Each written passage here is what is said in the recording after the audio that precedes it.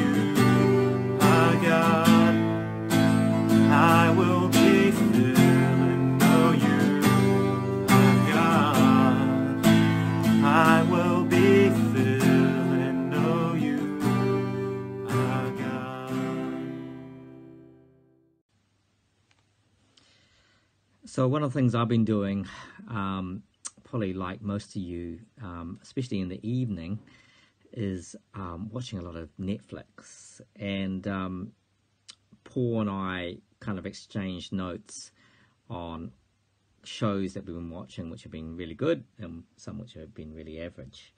Um, the last show uh, that I watched last night was actually surprisingly really good. It was called um, Shackleton's Captain, I think. I think it was Shackleton's Captain. Anyway, it was actually a New Zealand-made um, recreation drama of Ernest Shackleton, who um, basically tried to um, go to the South Pole. And uh, for many of you don't know the story, what happened was that he got marooned on ice. Now, his captain was actually a guy called um, Frank Worsley, who was actually a New Zealander. And uh, what happened was that when they got stuck on the ice, essentially they couldn't get out of there. So basically, they had to take their three lifeboats um, and sail to this um, god-forsaken um, island, which is just above the uh, South Pole, called Elephant Rock. Um, and then it was pretty obvious that they couldn't really stay there. So what happened was this guy Frank Worsley and Ernest Shackleton and this other guy, a few other guys, then um, took one of the other boats and then sailed all the way um, on this really small boat using only a sextant. Remember, they didn't have GPS in those days. Um, to to the um, to these islands, basically, um, not to the Falkland Islands, but it was somewhere South, I think South Georgia Islands or something like that. Anyway, um, so when they got there, they managed to surprisingly get there alive, and but they were on the wrong side of the island, so they had to then endure a 36-hour trek across the islands to get to this whaling station at the end. Um, but you know, it's just amazing, amazing story, real life story. This is not made up about the endurance and the hardship they had to go to because once Shackleton got to the whaling station, he then um, wanted to get he then he basically hired a boat a few months later to basically rescue the remaining men that were stuck on this godforsaken rock and called Elephant Rock in the middle of, of the Antarctic.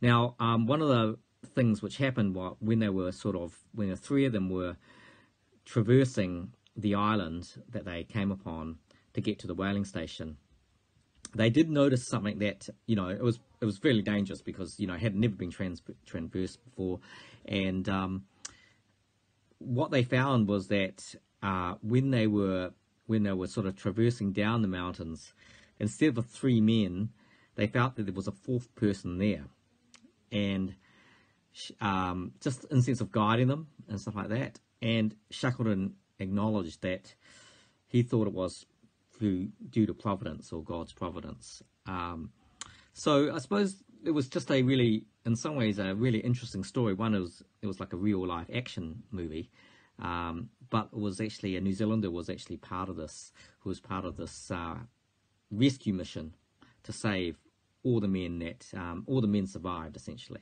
So sorry if that was a bit of a spoiler. And I suppose even though we may feel that we're going through a bit of a hard time at the moment, really it's nothing compared to what so many people have gone through. But um, we will endure, and God is our fourth man, and um, will, is here with us um, despite the circumstances. So let me pray. Father God, thank you again for this time. We pray for New Zealand. We pray for Auckland, especially as we go through this um, level four lockdown.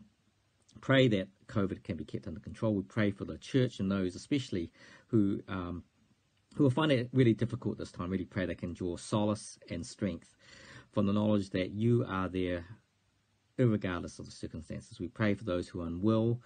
We pray for those we pray for the activities of the church, especially around Union Street, that that will be expedited and be blessed. And so we thank you for this time in Jesus' name. Amen.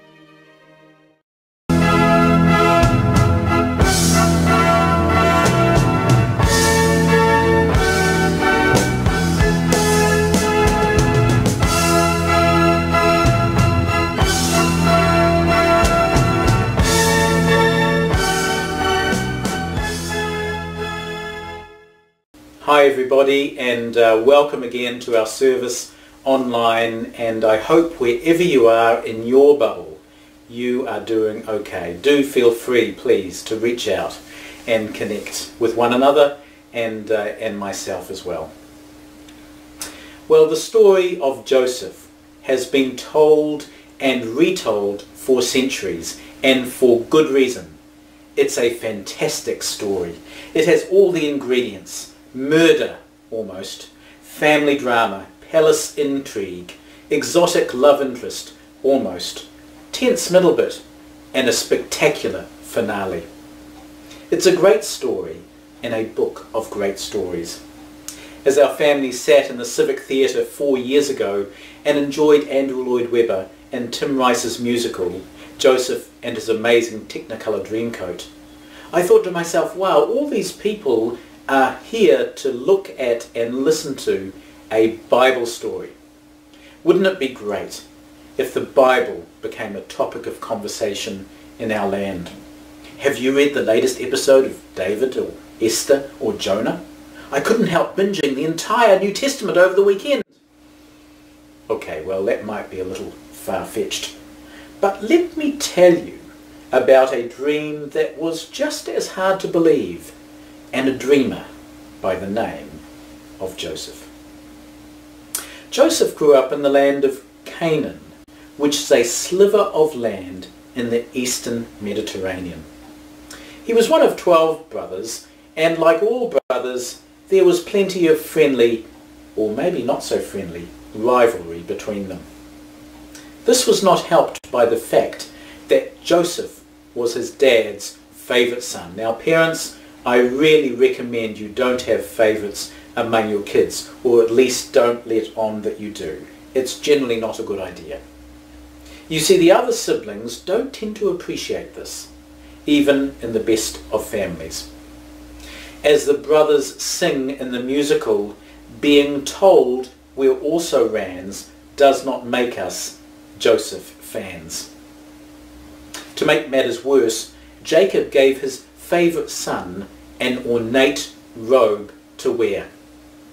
Sorry to disappoint you, but this was probably not a coat of many colours of popular imagination, but a long sleeve coat that showed Jacob's, Joseph's status as a manager and not a labourer. Yep, guess who didn't have to do the dirty work? Joseph's dad might as well have written the book How to Lose Friends and Infuriate People and given it to Joseph. Some people think that Joseph was a spoiled brat. But I reckon, I reckon that he genuinely wanted to do the right thing. He just wasn't always, how shall I put it, aware of how he came across. On one occasion he reported back to his dad some mischief that his brothers had got up to. And you can read about the sorts of things that some of his brothers did in surrounding chapters. So Joseph was probably right on the money on that. Wise? Hmm, maybe not so much. Then Joseph had a couple of dreams, which he shares with his brothers and his father. In the first dream, he and his brothers are binding sheaves of corn out on the field, when suddenly Joseph's sheaf rose and stood upright, and his brothers' sheaves all bowed down to it. In the other dream, the sun, the moon, and the stars all bowed down to him. Wow. Well, it goes without saying that Joseph's brothers did not appreciate these dreams. In fact, the scripture says they hated them, hated him all the more, and it repeats it for emphasis. By the way, does this sound like anyone to you? They hated him without reason. We will see as we go through the story the fascinating parallels with Jesus' story as well. So the stage is set for the brothers' monstrous act. And I'll get Rachel to read this next part of the story. Genesis chapter 37, verses 12 to 36.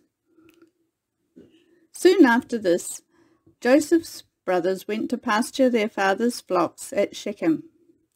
When they had been gone for some time, Jacob said to Joseph, Your brothers are pasturing their, the sheep at Shechem. Get ready, and I will send you to them. I'm ready to go, Joseph replied. Go and see how your brothers and the flocks are getting along, Jacob said. Then come back and bring me a report. So jo- Jacob sent him on his way, and Joseph travelled to Shechem from their home in the valley of Hebron. When he arrived there, a man from the area noticed him wandering around the countryside. What are you looking for? he asked. I'm looking for my brothers, Joseph replied. Do you know where they are pasturing their sheep? Yes, the man told him. They have moved on from here, but I heard them say, Let us go to Dothan. So Joseph followed his brothers to Dothan and found them there. When Joseph's brothers saw him coming, they recognized him in the distance. As he approached, they made plans to kill him. Here comes the dreamer, they said. Come on, let's kill him and throw him into one of those cisterns. We can tell our father. A wild animal has eaten him. Then we'll see what becomes of his dreams. But when Reuben heard of their scheme, he came to Joseph's rescue. Let's not kill him, he said. Why should we shed any blood? Let's just throw him into this empty cistern here in the wilderness. Then he'll die without our laying a hand on him. Reuben was secretly planning to rescue Joseph and return him to his father. So when Joseph arrived, his brothers ripped off the beautiful robe he was wearing. Then they grabbed him and threw him into the cistern. Now the cistern was empty. There was no water in it.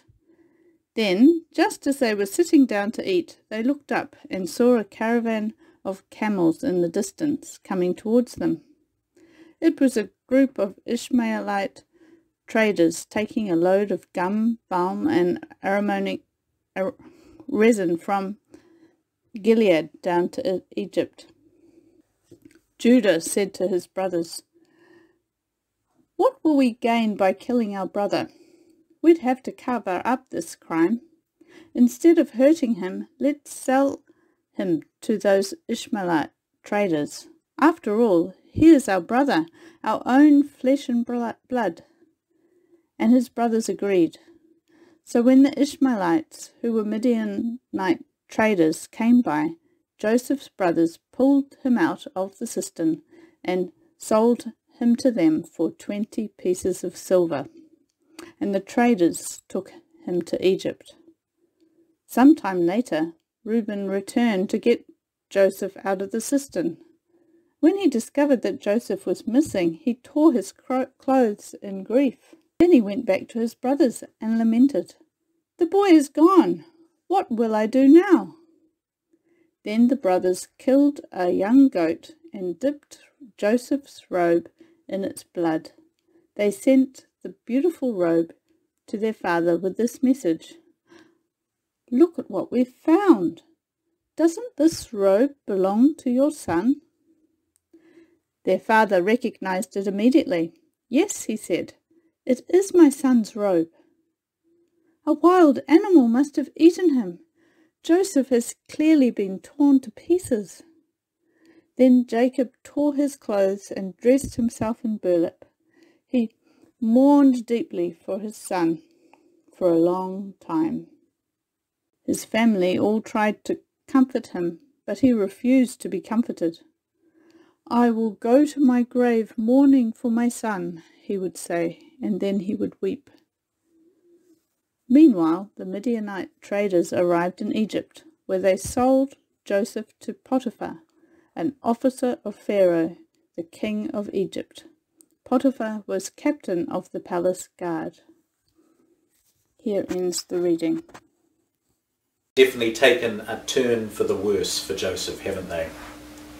I'm grateful for to Jerry Wright for some of the word pictures in his excellent little book, The Joseph Road, as we follow Joseph to Egypt. So here was Joseph, abandoned in a pit. He would have been terrified and bewildered. What would happen next?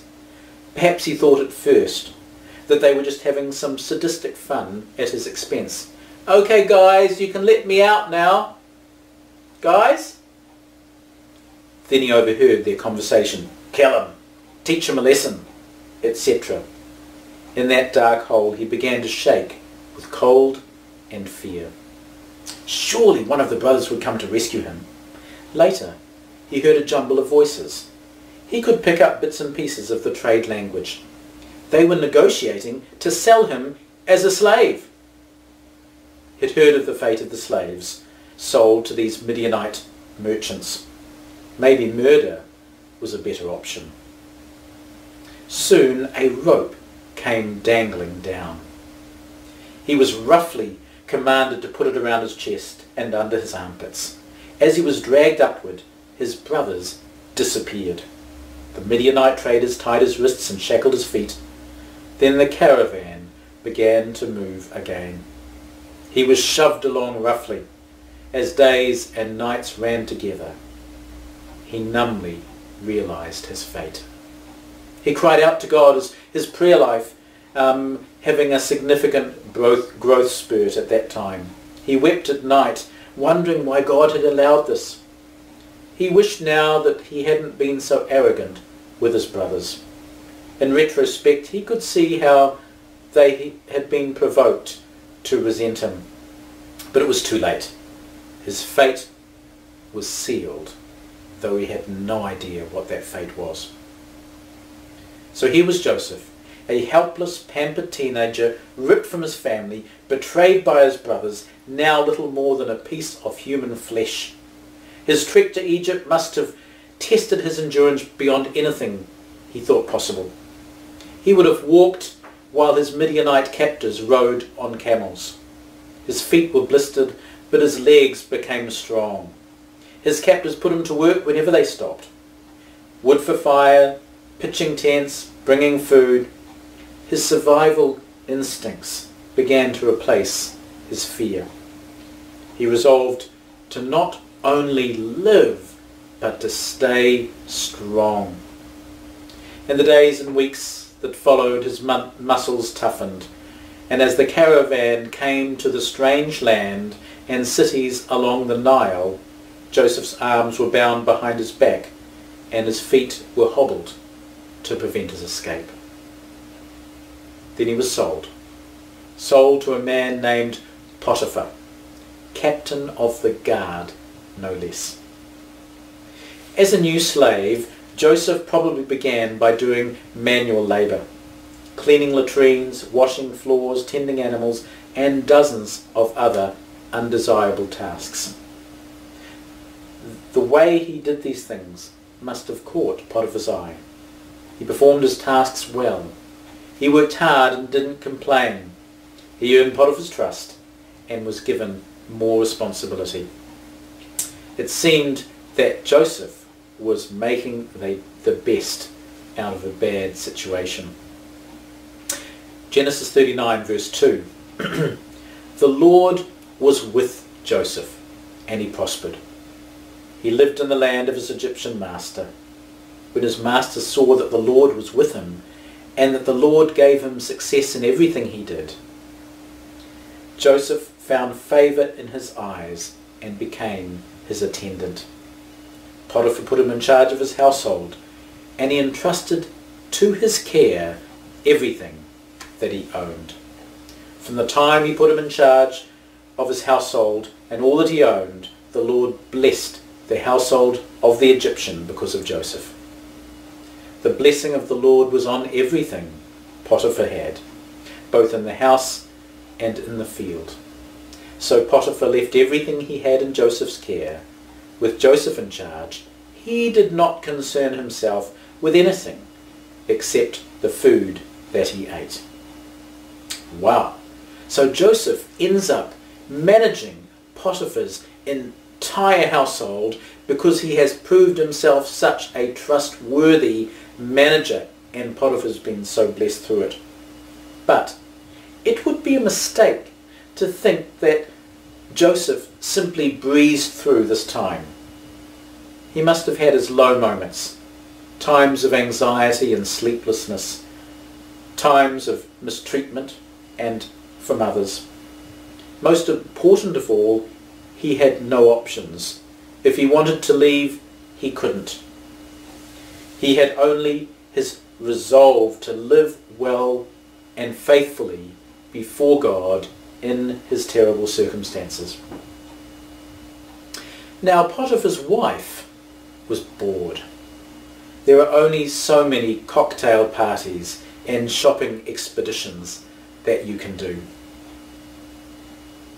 But when she saw Joseph, well built and handsome, and probably much younger in his late teens or early twenties, she lusted after him.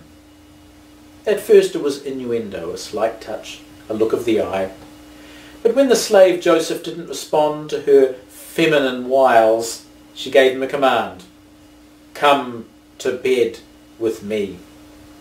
Was Joseph tempted? It would be hard to imagine that he was not, for she spoke to him day after day, imploring him to give in. But he refused. He would not give in. Even in those days, this was a novel approach. For Joseph had a tremendous sense of loyalty to his master. Verse 8 With me in charge, he told her, my master does not concern himself with anything in the house. Everything he owns, he has entrusted to my care. No one is greater in the house than I am. My master has withheld nothing from me except you because you are his wife. How then could I do such a wicked thing and sin against God? And though she spoke to David day after day, he refused to go to bed with her or even to be with her. Why did he refuse to sin? A lesser man would have thought, my master gives me so much freedom I could get away with this as long as Mrs. Potiphar doesn't say anything. This could be one of the perks of the position. But it appears that Joseph didn't even entertain such thoughts. Why? Because he feared God more than he feared man or woman. But of course, sometimes the good choices that we make are not rewarded. Sometimes the golden rule wins out. He who has the gold or the power or the advantage makes the rules. Joseph was framed, and his robe left in Mrs. Potiphar's hands as he fled, used as evidence against him. when she brings the false accusation to her husband, he responds by burning with anger. But who was he angry at? Now, it is likely that he didn't actually believe his wife. That given a test of characters between her and Joseph, he knew who should win. But she was his wife, and Joseph was just his slave. He cannot discount his wife's accusation without publicly humiliating her and by reflection himself. If he is certain that she is lying, even if she, he is certain that she is lying. The action he takes against Joseph is as minimal as it can be and still retain his family's honour. He puts him in the king's prison. Okay, it wasn't the Sheraton, but there were worse methods of punishment in Egypt, I can assure you. But even there in prison, the Lord was with Joseph and he blessed him. So that's part one of our story. Here's a question for you. What is the purpose of the Joseph story? Why is it in the Bible? And not just in the Bible, the story covers more chapters than the story of Abraham. Well, let's collect some clues. Clue number one, 37 verse 2, this is the account of Jacob's family line. The author then proceeds to tell us Joseph's story. Joseph's story is part of the larger story of his family. Jacob is one of the patriarchs, the first three generations of Abraham's line, from which came Israel. Abraham, his son Isaac, and his son Jacob. And then in fact, Jacob was renamed Israel and his twelve sons became the twelve tribes of Israel.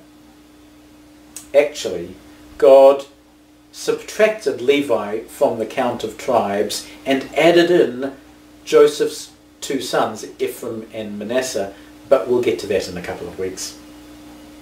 Clue 2. Check out the further references to Joseph in the Bible. There aren't that many of them, but they're there. Psalm 105 recounts the wonders that God has done in keeping his covenant promises to give his people a land of their own. he sent a man before them, Joseph, sold as a slave. They bruised his feet with shackles. His neck was put in irons. How does Joseph relate to God keeping his promise to give them a land of their own? Because when he was born, his family were nomadic shepherds squatting in a land not their own. But by the time of his death, they still didn't have their own land. But thanks to Joseph, They had survived a terrible famine and drought and were beginning to really flourish in Egypt. The stage was set for the Exodus and the conquest of Canaan many years later. Then we have Stephen's address in Acts chapter 7, which uh, he does a similar thing by reciting Israel's history and placing Joseph's life in that context. Because the patriarchs were jealous of Joseph, they sold him as a slave into Egypt.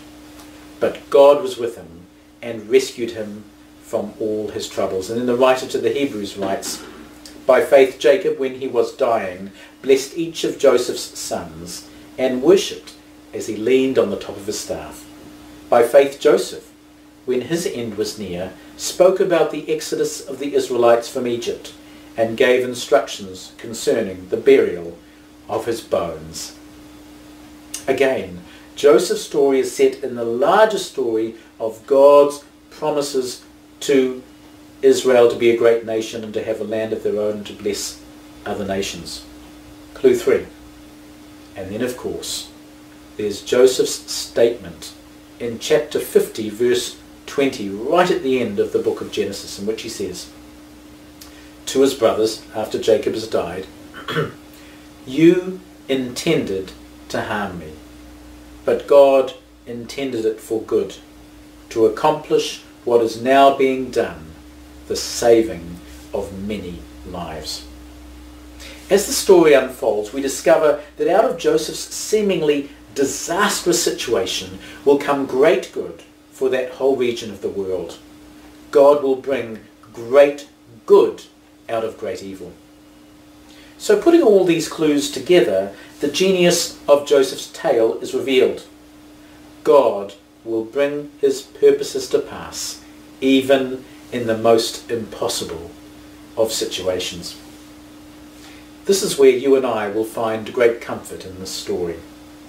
Whatever circumstances you are in, no matter how difficult, you can trust in God.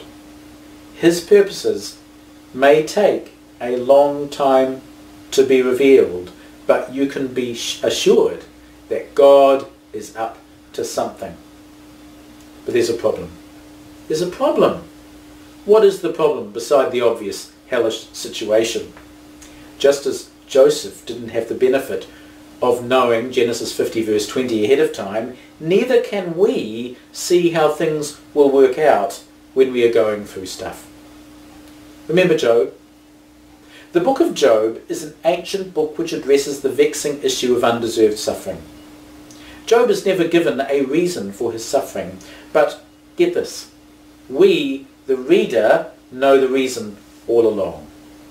Satan has asked permission to terrorize Job so much because he reckons Job is only good because he is rich and happy. And God lets him test his servant Job, test his faith because he's confident that it is more than skin deep.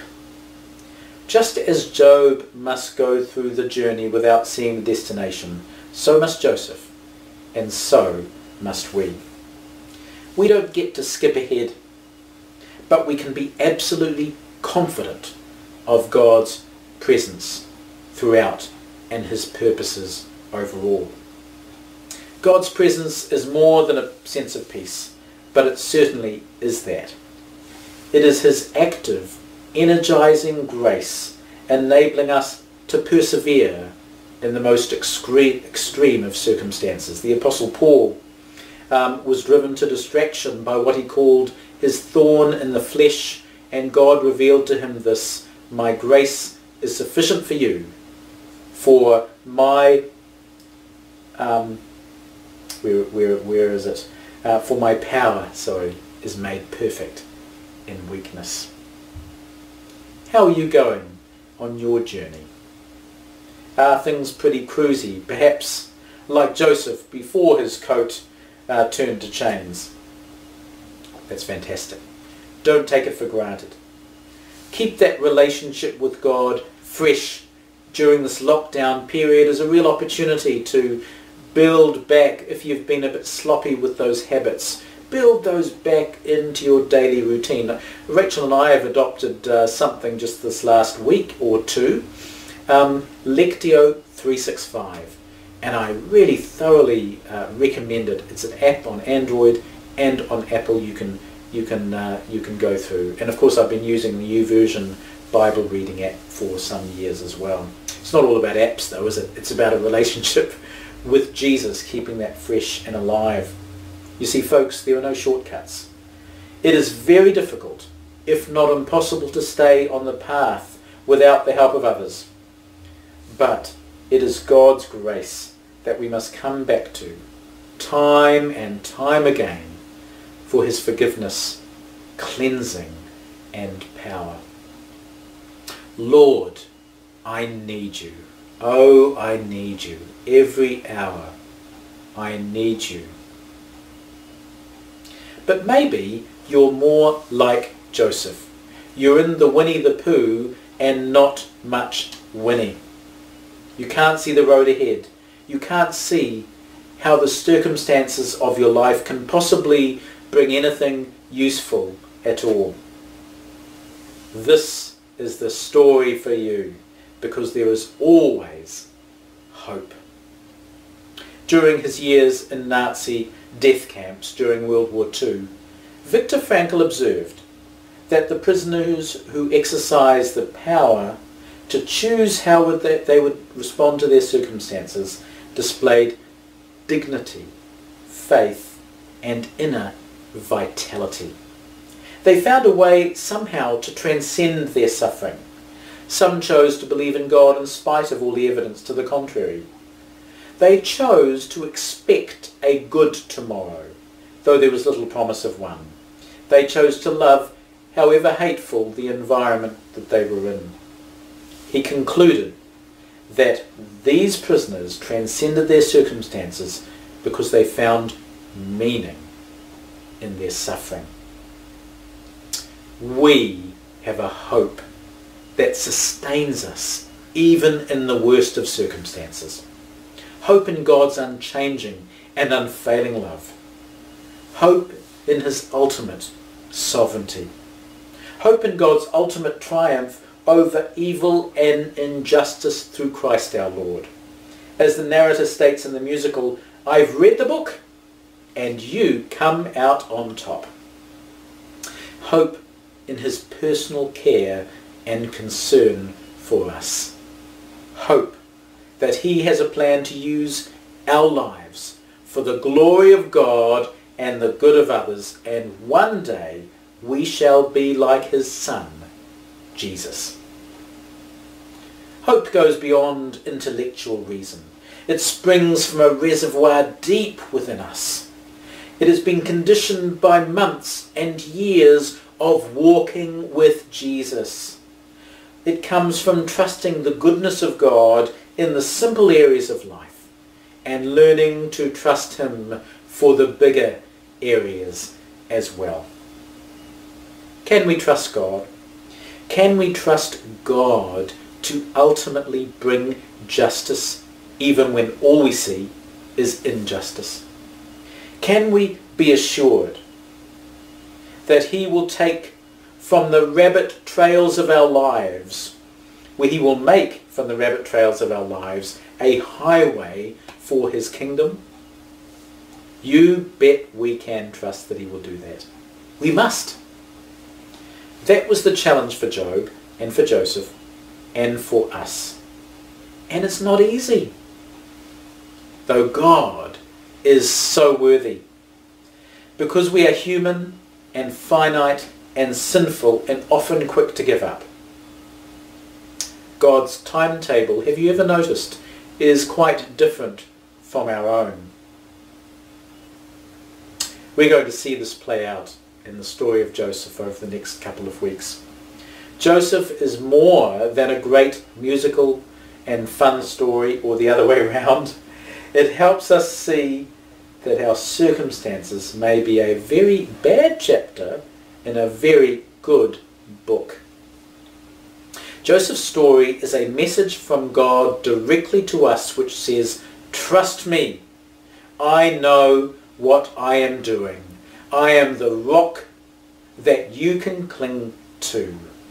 I am Jesus, the cornerstone.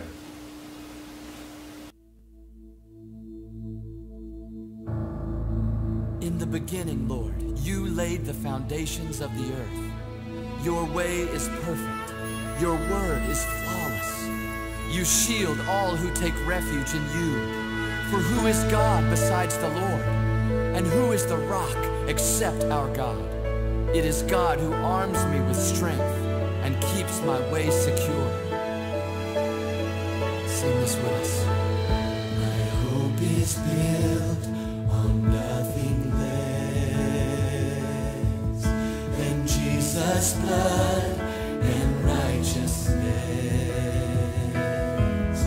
I dare not trust the sweetest frame,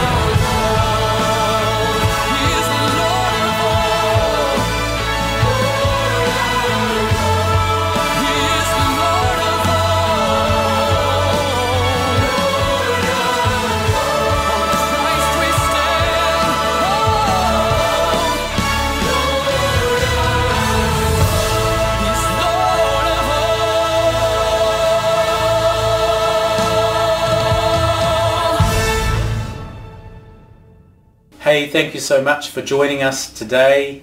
Um, share this with your friends and family and say, hey, we're doing this series on Joseph. Check it out. There's so much uh, that people can um, learn from it, even if they don't normally listen to sermons like this. And I invite you to join with me if you would like in the blessing today. Now may the grace of our Lord Jesus Christ, the love of God, and the fellowship of the Holy Spirit be with us all, now and forevermore. Amen.